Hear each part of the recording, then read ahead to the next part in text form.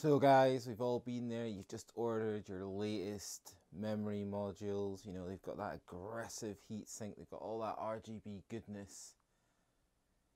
But are they actually any faster than the memory you're getting rid of?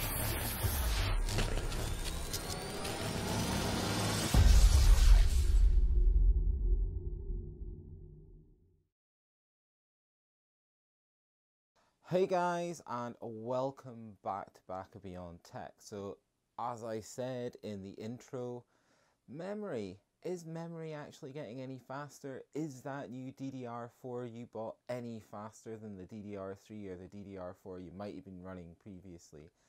Today we're going to find out, we're going to ask a few questions about memory.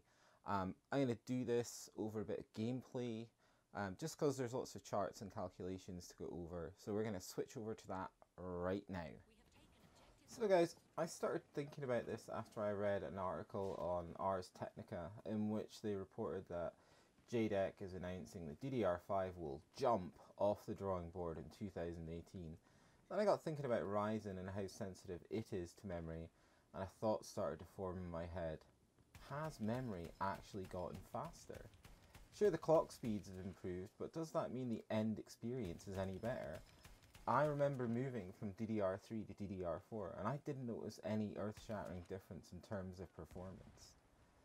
So I started looking into this, and to truly understand what is going on, we're going to have to spare a few moments discussing memory, so we're all on the same page.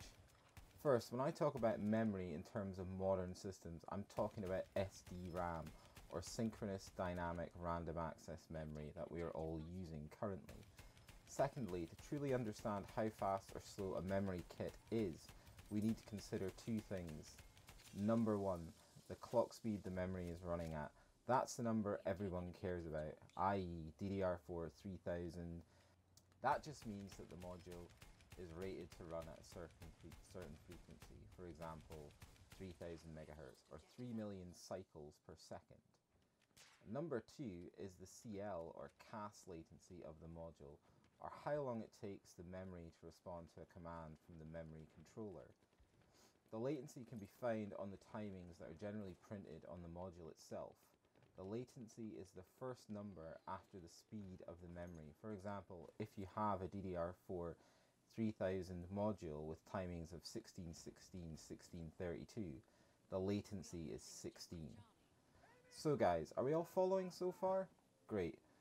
So now we know the speed and the latency of a module, we can work out its true speed, and that is simply the clock speed divided by 2 as DDR memory is double data rate, meaning it can process 2 commands per cycle, multiplied by the CAS latency. So if we want to know how fast our DDR4 3000 module actually was in the real world, we divide 3000 by 2 to give 1500 megahertz, we would then convert the 1500 megahertz into hertz by multiplying by 1000 to give 1.5 million hertz. Now we need to divide 1 second by 1.5 million to give us the cycle time or speed of the memory, which in this case would be 0.667 nanoseconds.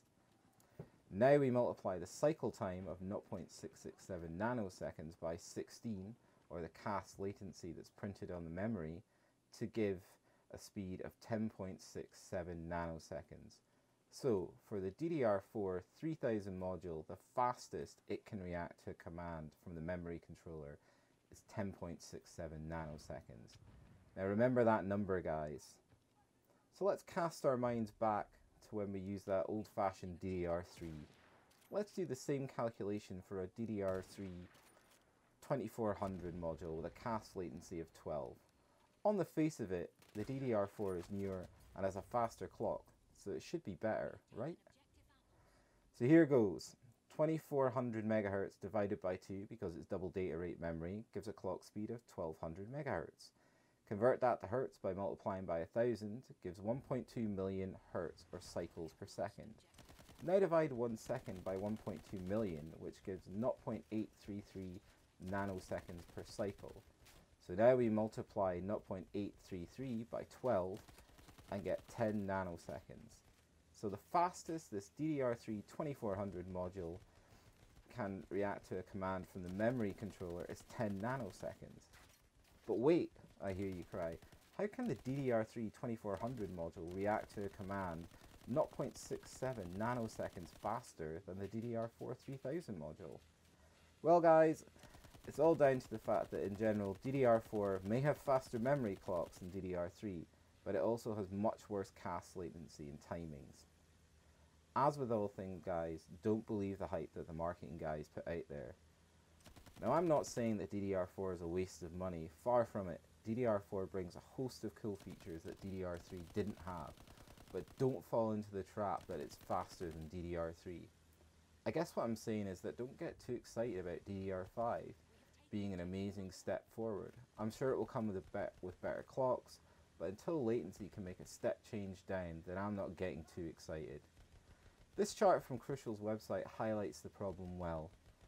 If you look at the true latency column here, which is what we have just been calculating, you can see that the last big step in true speed or latency came with the change from SDRAM to DDR. And since then, speeds have just bounced along with a small amount of variation, but no real improvement. So guys, there you have it, the truth about memory, the latency paradox as it's called.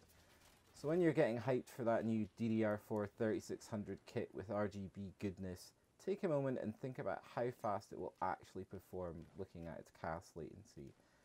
Then look at a 3200 kit. You might find that the 3200 kit is just as fast in terms of true speed and you might also save yourself some cash.